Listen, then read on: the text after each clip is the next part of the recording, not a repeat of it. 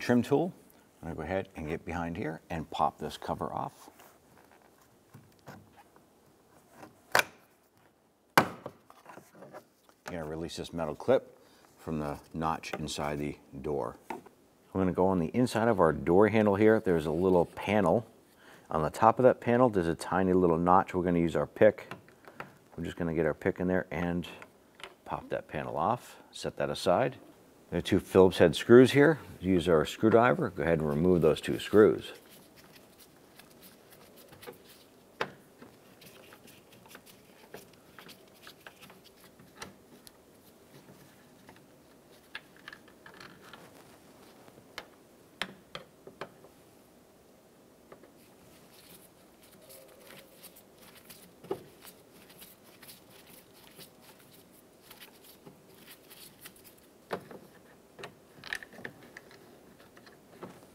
I'm going to go ahead and grab the handle and pull this out. On the left-hand side, there's going to be the actuator rod with a plastic clip. We're going to use our needle nose pliers and we're just going to remove that clip.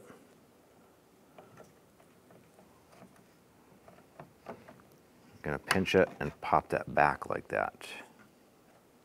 And off of the rod.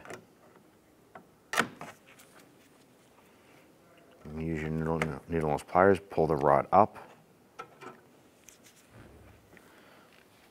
On the other side, we have the switch. You can use our pick or you can use your finger. and press down on this tab right here to pop that off.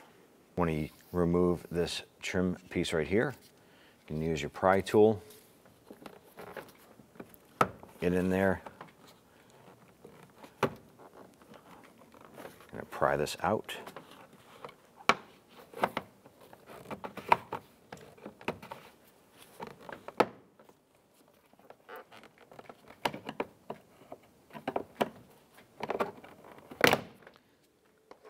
Pop this piece right off. I'm gonna remove the two inner Phillips head screws. There's one right here.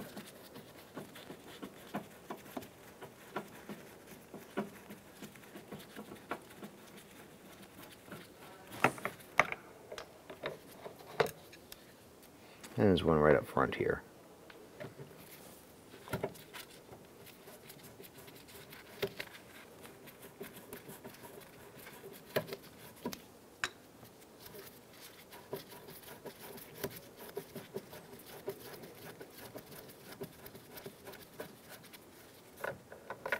On the bottom side of your power window switch right here, there's a harness and a connector. We're gonna press in on this little tab right here and pull the connector down and out.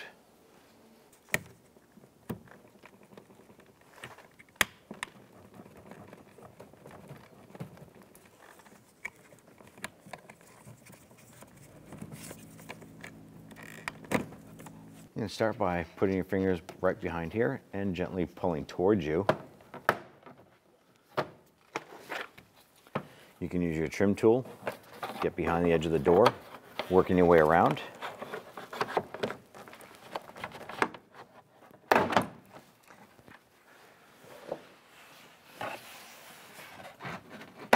I'm just going to pop off the plastic buttons that are supporting the door panel.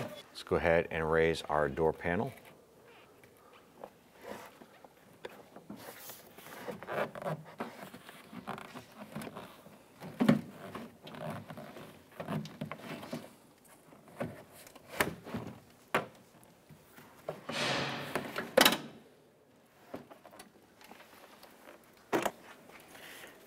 Go ahead and separate your door panel from the vehicle and set it aside. Now when you remove your door panel, you may see a water shield like this here. Ours was hanging off, so you want to go ahead and remove it from, if you still have adhesive, remove it from the adhesive, pull your harness through, and go ahead and set that aside. At this point here, I want to go ahead and feed our power window harness through. We're going to line this up going to reconnect it.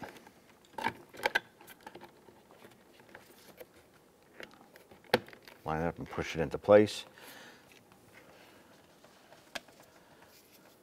I'm going to use a bungee cord to go around the door panel itself.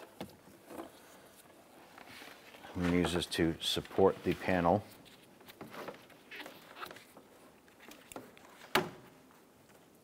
With the key in the on position, we're going to go ahead and raise our glass up. Then we'll go ahead and shut the key off. Remove the door panel once you put your window all the way up.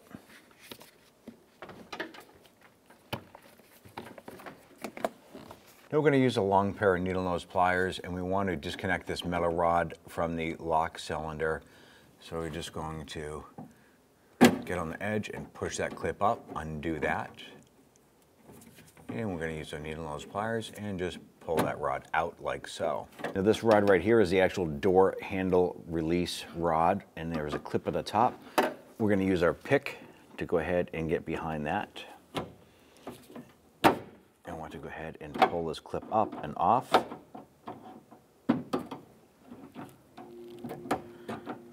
Once that's free, go ahead and grab that rod and pull it out towards you.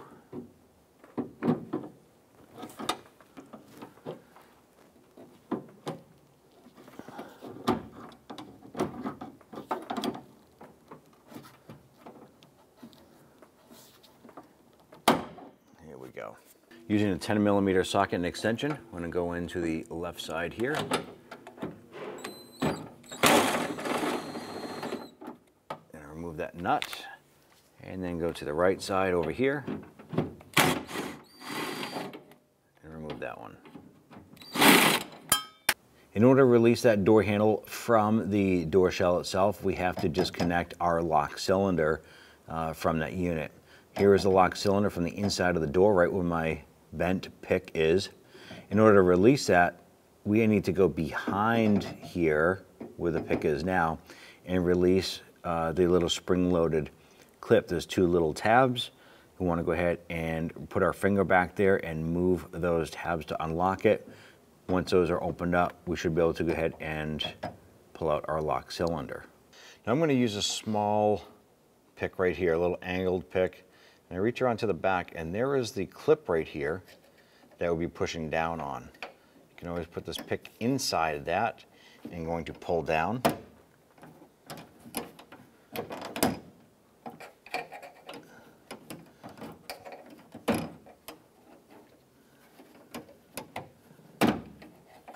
This is going to release our door lock cylinder.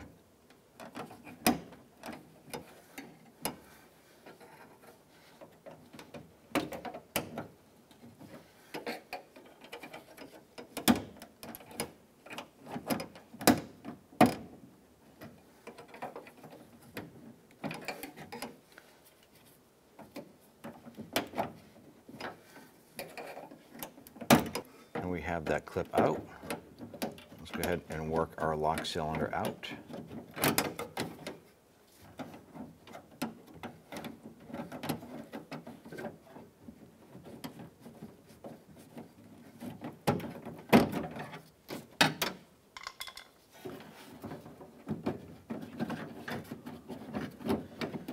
As you work that lock cylinder out, there you have it. We installed the lock cylinder. There are two ramps and a notch, ramp and a notch.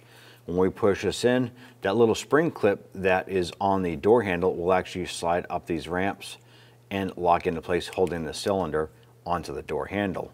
We're going to apply a light coat of grease to this side of in this side of the lock cylinder so it'll slide in easier. Go ahead and line up your lock cylinder and work that into place.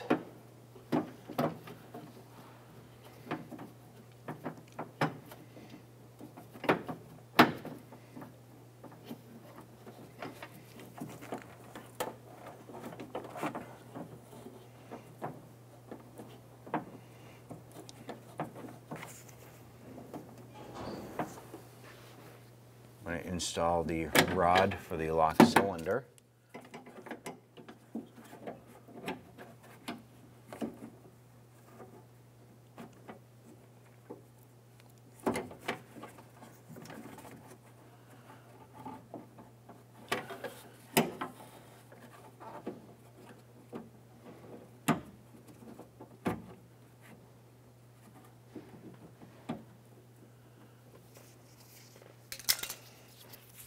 Might be able to use your pick for assistance to reach around and get that pushed in.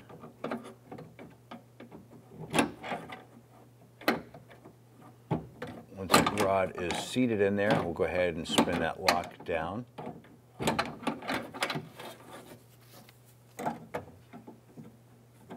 And we'll snap that clip into place. Go ahead and get the upper rod installed here for the handle. I'm gonna feed the rod up into the back side of the handle. Bring our retaining clip down and just snap that on with your finger.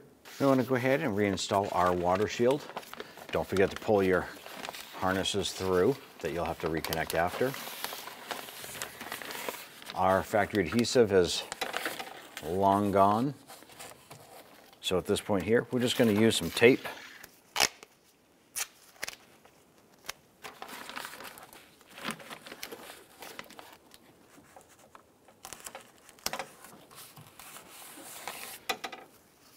Doesn't have to be fancy, just holding this up and in place.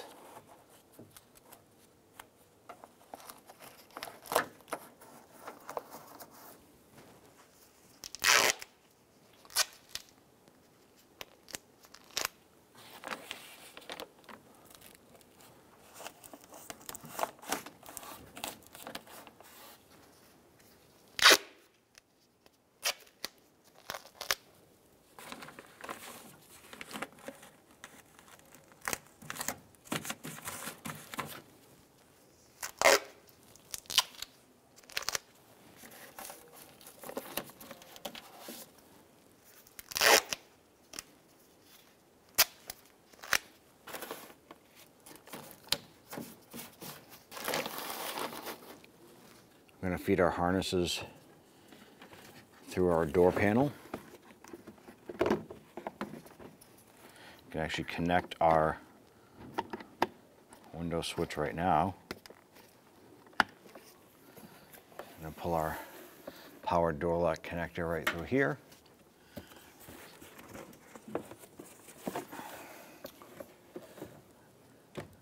Let's go ahead and line up our door lock over here.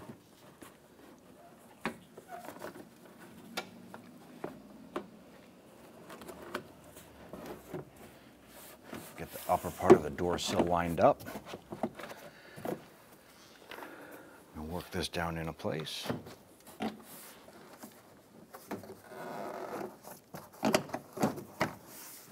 Once the upper sill is in place and you have your power connector here, just gonna work our way around the perimeter, getting our buttons locked in.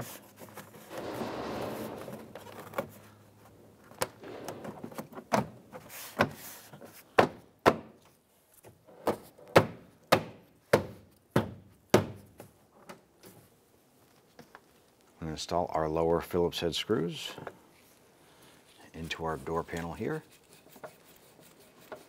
Not gonna snug that one down yet. We're gonna take the other one, get that one started.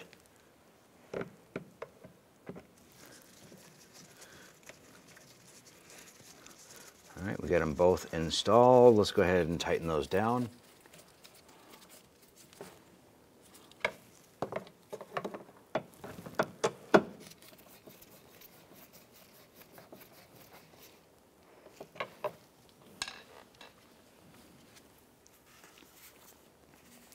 Let's take our trim piece. I'm gonna line this up, insert the back portion, bring this around. Pop that into place. I'm gonna take your door handle, take the rod, put that down inside the handle. I'm gonna use a pair of needle nose pliers to go ahead and install the clip. Pop that into place. Put that in place. Take your electrical connector for your power door lock switch. Line that up snap that into place. I'm going to install the back side of the handle. There's a tab right here. Put that in.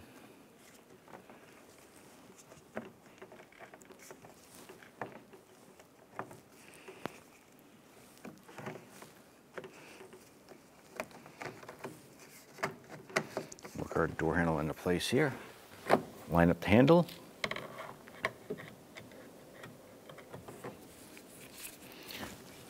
Gonna get this screw started. Get the other screw started, and then we'll snug them both down.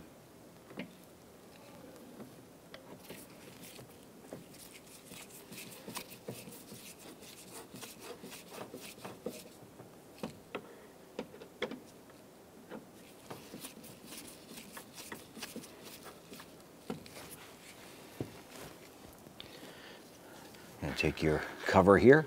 There's two little buttons on the bottom and one on the top. Install the bottom first. And then just press on the top. Now you want to go ahead and grab your cover here. Peel it off and you're all set. Now go ahead and install our mirror cover. We have a little button on the top, a little lock tab here, and our retainer. Slide this down into place. There we have it.